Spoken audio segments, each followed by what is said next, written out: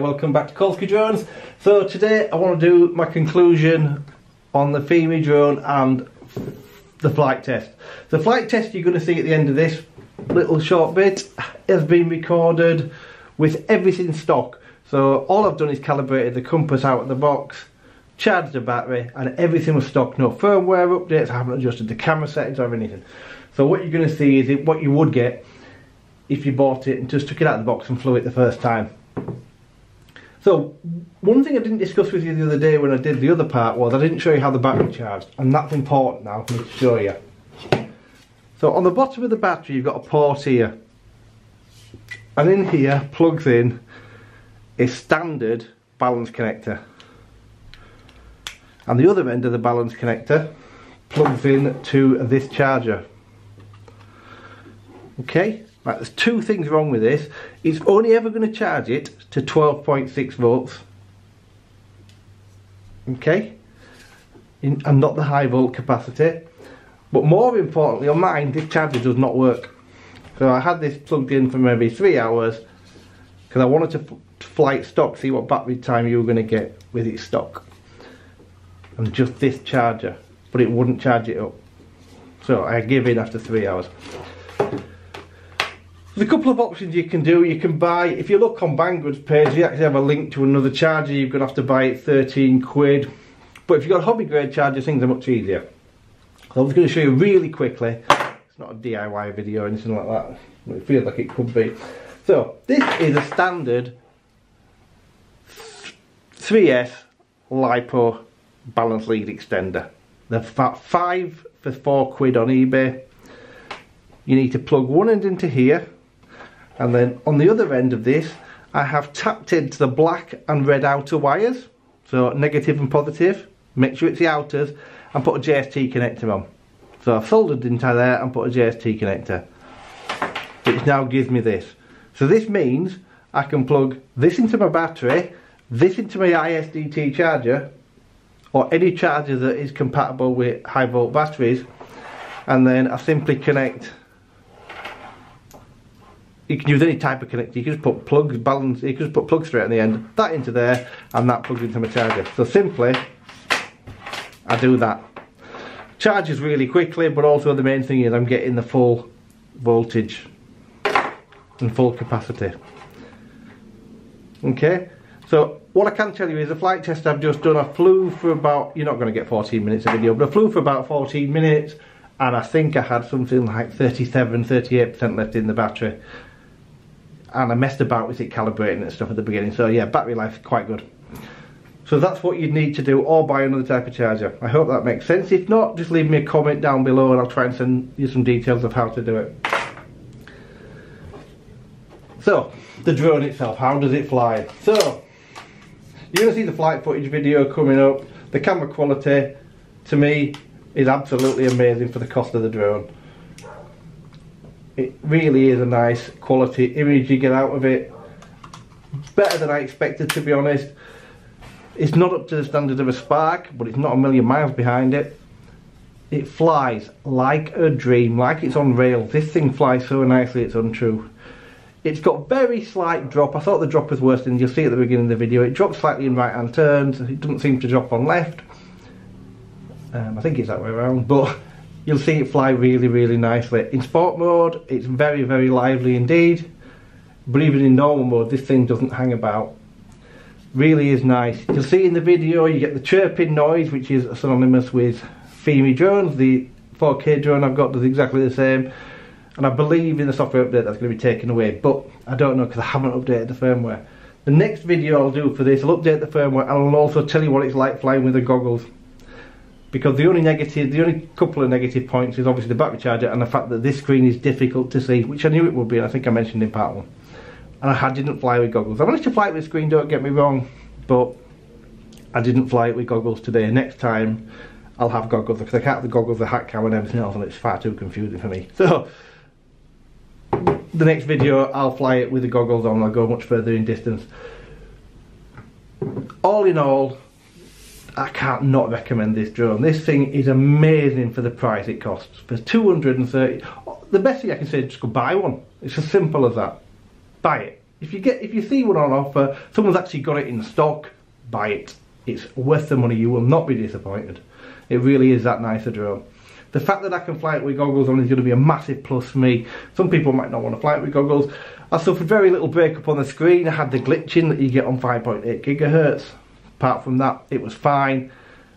If you had some kind of sunshade on this, it'd probably be great. Um, but like I say, for me, I'm not that bothered. The only thing, you, the only thing that has on this thing that is not absolutely perfect, in my opinion, is return to home was good for three or four meters off. You're going to see in the video, but again, I haven't updated the firmware, and I believe we have to firmware update. That got a lot better. So I've waffled on enough. Watch the video that's coming up. I've recorded it on my GoPro so you can see how it flies. I've also recorded it on the drone itself. And as I say, it's in 1080 30, everything's standard. The only thing it's set to is super fine, which is 60 megabits per second. When I've put the SD card out and put the file onto the file image converter, it says it's 60, well, 59.8 megabits per second. You can't fault that. Thanks ever so much for watching. Have a fantastic day. Okay, so let's get ready to take off. So like I said in the review, this is completely stock. Everything's stock. The camera settings are completely stock. I've calibrated the compass and that's all I've done to it. So we're going to go into the settings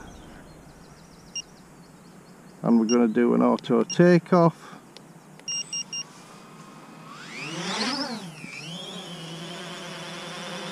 As you can see it goes up a bit higher than, let's just bring it down a little bit.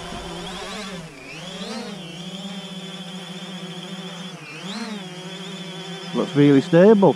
So the noise you can hear is the typical chirp you get from a the 4K does the same noise and as you can see it vibrates slightly. It doesn't affect the picture on the 4K so I'm presuming it won't on this. I believe in the software update so there is a fix for that. As you can see it's moved from the mat but not far. So let's just take it out a little bit. Just fly it around. See how much it drops on the altitude? Not at all. So it doesn't drop on.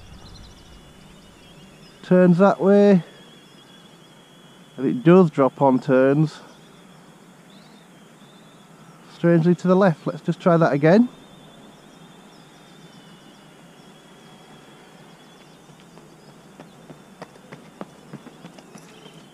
Turn the other way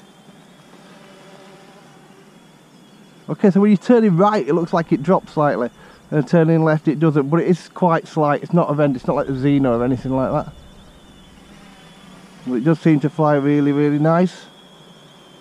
Let it lock back in again to its GPS. As I say, this is a stock setting, so I'm just going to let you have a look at the picture you can see on the screen. You're going to difficult to tell this because I'm in the sun. There's no, I'm not wearing goggles, I'll do the goggles on the next flight. This is just a test to see how decent it flies. So let's start the video. Long press the button on the back. as you can see I don't know if you can see that on the screen but it started recording. So this is where the test the real test is. Let's see how good the video looks. Let's just go out a little bit. Just fly it around. Now your screen you're going to get break up every now and then or glitches as they call because it's 5.8 gigahertz. This is not a digital image. But the massive advantage you get over Wi-Fi of course is the range is much much better. And with goggles it'll be even better with a decent set of antennas on.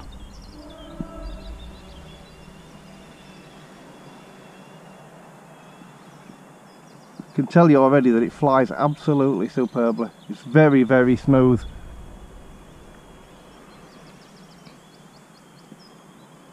the screen's going to be the biggest problem with this one because it's not that sunny today. It is a sunny day to be fair. It's a sunny winter's day, but I'm struggling to see that screen already.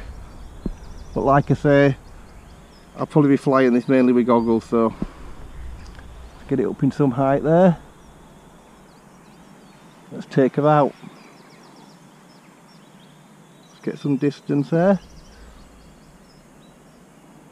I'm not doing a, a range test or anything like that today.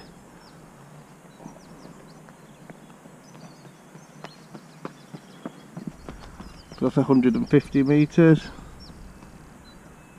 as I say I'm not range testing this today the only thing I really want to do other than fly this today is do the return to home test to make sure that all works well. It's so smooth to fly though. I can't tell you what the video looks like obviously till I get home and put it on the computer but it does fly really really really nice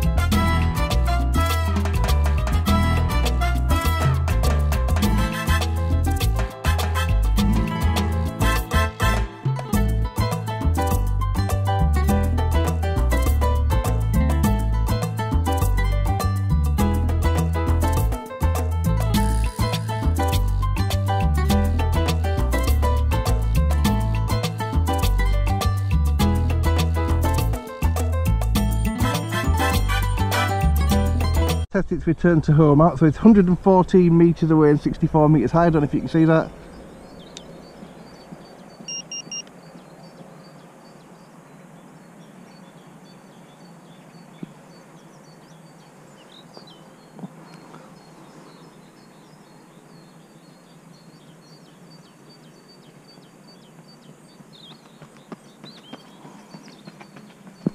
Looking good.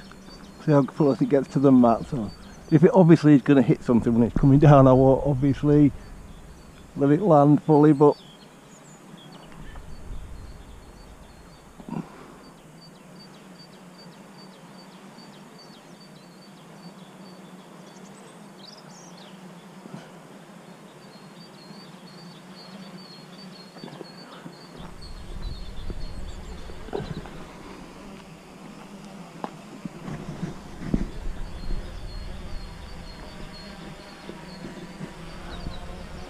looks like it's going to be a little bit away from the mat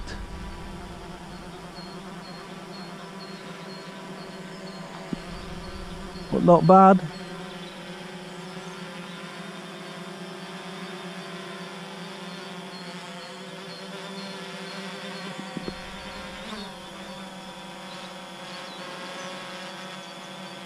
So it was going to come down a bit further away from the map.